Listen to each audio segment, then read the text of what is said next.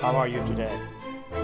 We now move on to Chapter 5 A Generic Approach to Strategic Management. In my opinion, this is by far the most important chapter in the book. It is this chapter which will give you the tools to conduct a strategic analysis of any firm, irrespective of its products, its markets, its scale, or its location.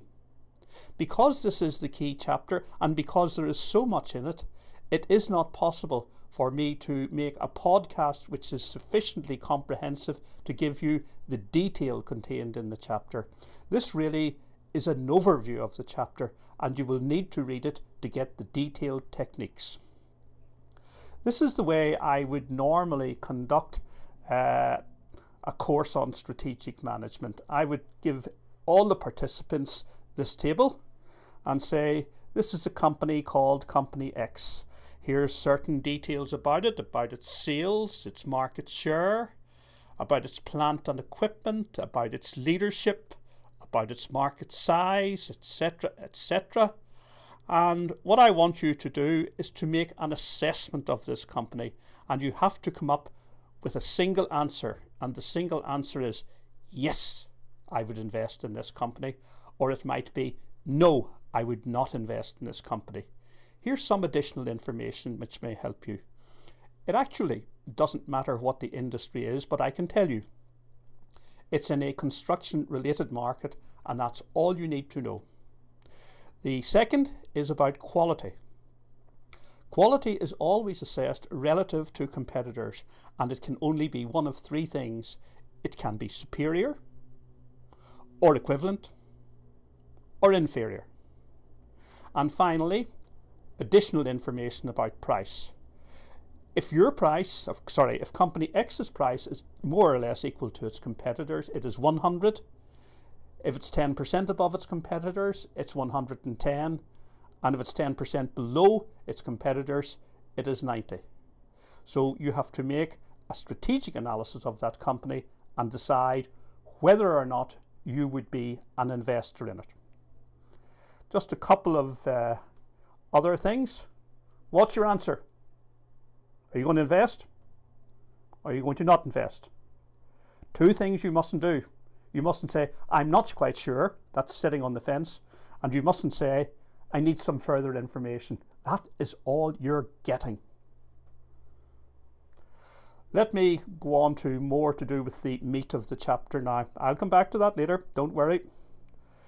I actually see huge connections between sport and business. And in sport, we're really only interested in winners. If you're playing a sport, you need to be a winner. And if you're associated with the sport, you need to be able to pick winners. Let's have a look at a real winner now in the sport of horse racing. Here he is. It's Frankie Dettori. I don't know too much about horse racing, but I know that this jockey has been fantastically successful in the United Kingdom and elsewhere. And I'm going to tell you something about Frankie Dettori. I actually, if I engage in a horse race with Frankie Dettori, will always beat him as long as it's over the flat. No jumps. Don't want to do jumps. And the way that I will beat him is I will select the horses. And the horse that I will select for myself is this one, which is a rather fine looking animal, I think. And the horse that I will select for Frankie is this one. And I would maintain that as long as I can pick the horses, and these are the types of horses that I pick, I will always beat him. And there's a lesson there for us. If Frankie Dettori is mounted on a cart horse, I will win if, if I'm, especially if I'm on a thoroughbred. This applies to business in the following ways. There are certain businesses, and they are cart horse businesses. No matter how much you try, no matter how much you work, you are not going to change a cart horse business into a thoroughbred. Looking at it more optimistically, there are certain businesses which are thoroughbreds. And you don't have to be an especially good manager to do well. These businesses are structured in such a way that even the most average manager will do okay if he's in a thoroughbred business. And that's what we are about today trying to discern whether a business is a cart horse or a thoroughbred. Let me look at another connection between sport and business. That is golf. And you see a photograph of the world number one in golf, Tiger Woods. And in terms of that, we're really only interested in winners. We want to see Tiger Woods winning. We need to be a winner like Tiger Woods. We need to pick winners. And it's the same in business. Let me take that a little further. I talked about this in a previous broadcast. I've already explained how your golf handicap returns to your par or your handicap over time. That sometimes you play better than your handicap, sometimes you play worse than your handicap, and over the long run, you'll average your handicap. And again, as I, in terms of golf, there are some assumptions which I think are largely true about what determines a player's level of success.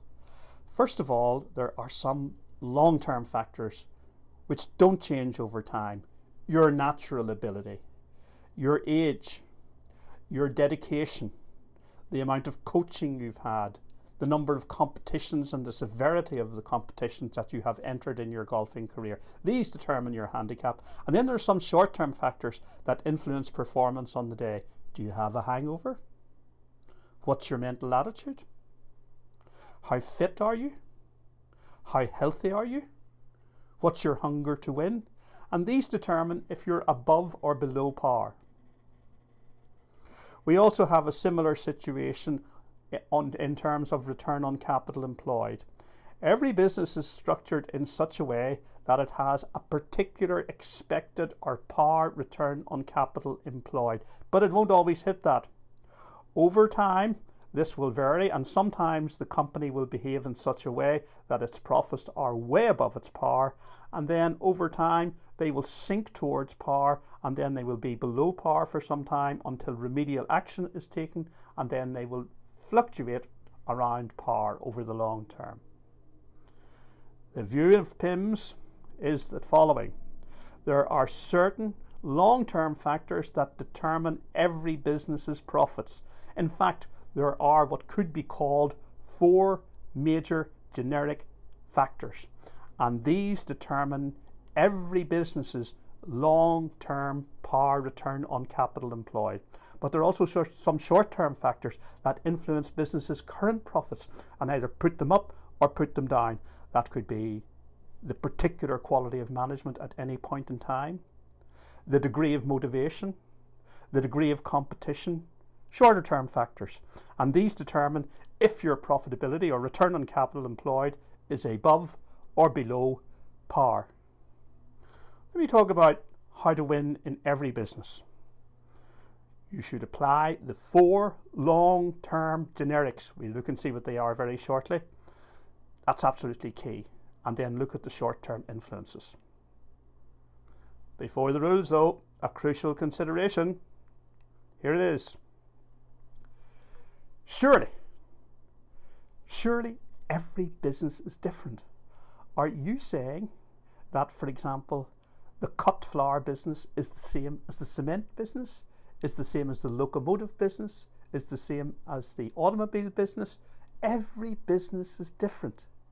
Well, you know, in life, you're allowed to say, yes, they are different, and no, they're not. So you can be simultaneously correct with the answer yes and the answer no.